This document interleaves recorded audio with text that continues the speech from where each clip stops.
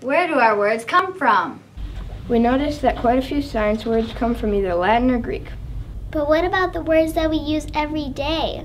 The ones we use over and over. Where do they come from? We decided to collect some data and find out. So we each thought of a sentence. And we each thought of a sentence. And we each thought of a sentence. Then we looked at Etymonline to find out what language each word came from. Etymonline is where we look when we want to know history of a word. It's our favorite! Then we wrote our sentence on big white paper. So we can show our findings on a bulletin board. We color coded the language of origin. So we could see at a glance. The most common ancestors of the words in our sentences. We began sharing our sentences with the rest of the class. We let classmates guess before we revealed the language of origin. We didn't share them all. But we shared enough of the sentences that we were able to see that most of the words we were using were from Old English. We live in the Milky Way, which is in the universe. What's interesting that you're noticing? The universe is Latin. I would think it was Old English. Ah. Um, Part of that word we've looked at before when we looked at um, monomers and polymers, and then we looked at the Latin version of MON. MON is Greek, meaning one, and we looked at the Latin version of that, which is U-N-E, meaning one. This, this word universe is putting U-N-E plus an I connecting vowel plus V-E-R-S-E, meaning to turn. So the universe is one turning. We're all turning as one. All the planets, everything, right? So that one is Latin. That's a cool one.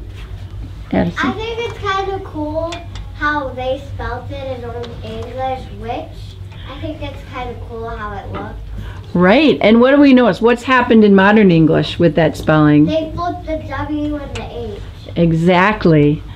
Exactly. That is so interesting that the H has always been there.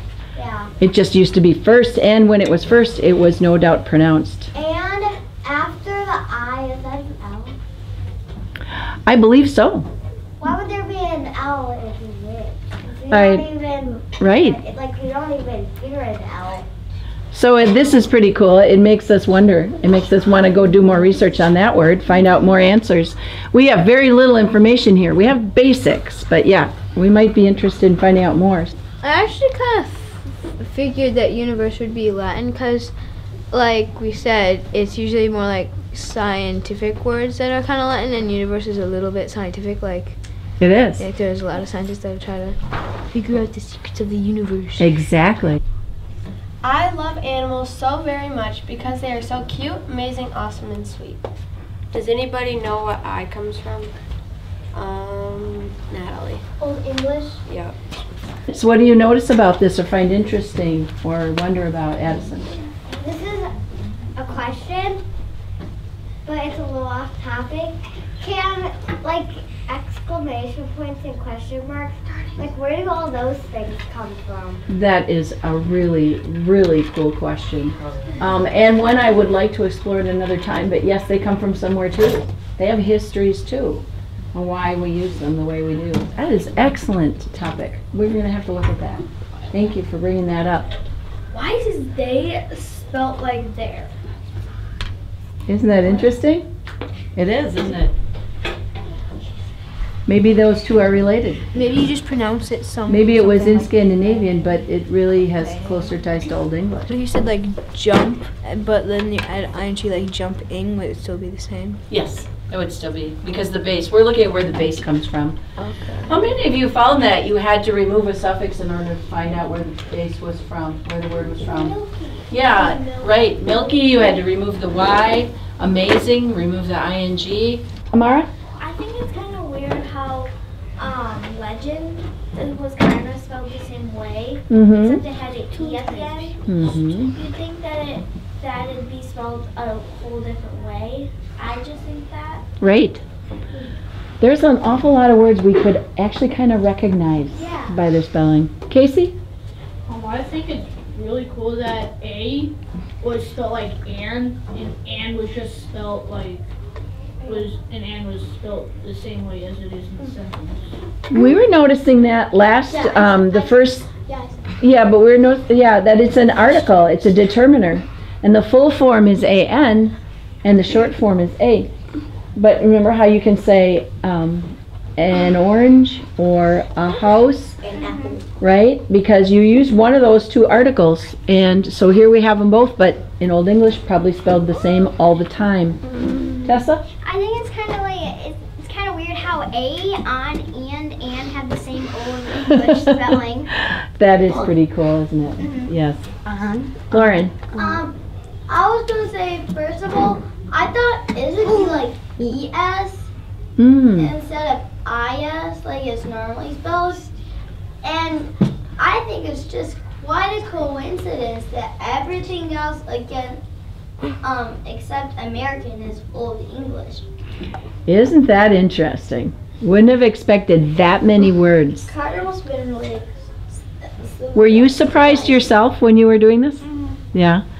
Was there a specific word you thought for sure came from another language besides Old English? Legend or master would come from somewhere else, but Yeah. Noah? Um, so is, in, and, and team are all that's the same spelling as they are now. part of and hasn't changed, but another part of it has. Well, there's two different spellings there. Yeah. O-N-D and A-N-D. Do you notice how those words are words we use constantly? Those are those little words. Those are function words. T-O and A-N-D. We use those all the time. And the pronoun I. Right? We use those all the time. And they have not changed a whole lot. What do you think of eat? When you Oh, look at the that's Old interesting. English. Right, and where, yeah, you did find it under eat, didn't you? Yeah. I had some students doing sentences where they had the word ate, and they couldn't find it under ATE. And I said, well, that's the past tense for what? And then they had to look under eat and find this. In the Normandy invasion of 1066, when the French oh. took over and lived in the castles and were the government, all that, they introduced a lot of words. They were eating the beef, and they used a French word, beef. But the people who were raising the cows in the field were Old English people, and they used the Old English word cow. So, what about pork? Pork is the meat. What is the word, the animal? Pig, and guess where that's from? Old English. It is from Old English. So the animals that were being raised by the people who were Old English were using Old English words to name them. Yep, What about mutton? Is that French? that's a really good question. I don't know Because mutton. it's sheep. Right. Fancy sheep. Um, let's look that one up. I wonder if that would be French. Kind of feels like it could be, but I'd want to double check on that one. They ate sheep. Yes. Mm-hmm. They still eat sheep. Oh yeah, yeah, I it had a still mutton is. stick from Lamb.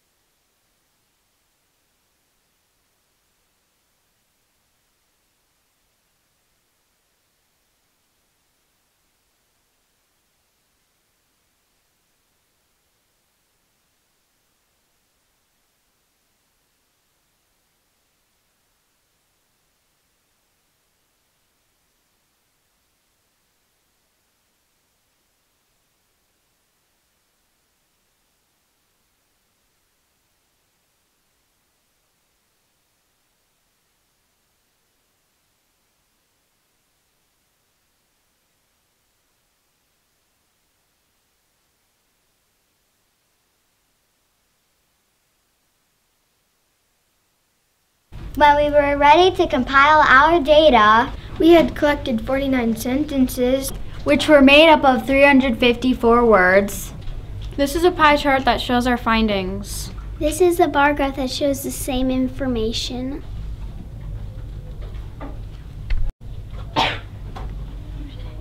It sure is obvious that most of the words we use are from Germanic languages. Isn't it? The rest were either from Latin or from the Romance languages that are derived from Latin. Here's a breakdown of those Germanic languages.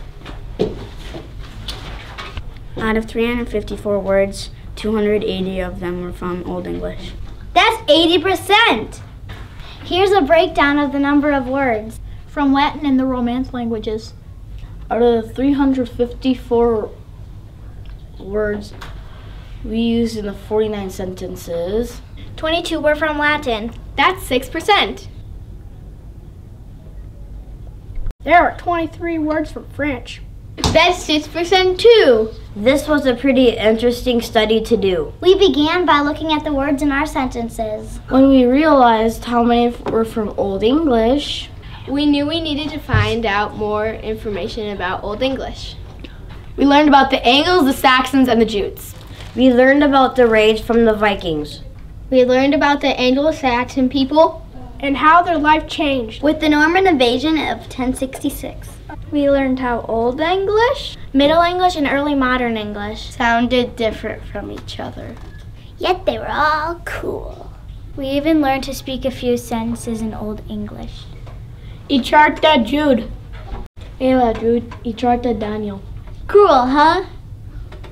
Have you ever wondered why the words what and who have an H spelling in them? We sure don't pronounce it. When we found out those words were from Old English, we also found out the H used to come before the W. Yeah, and H was pronounced. The modern day what was pronounced what. And the modern word who was pronounced hua. When we started this project, we didn't know much of anything about Old English. Now we look forward to learning more. Ela!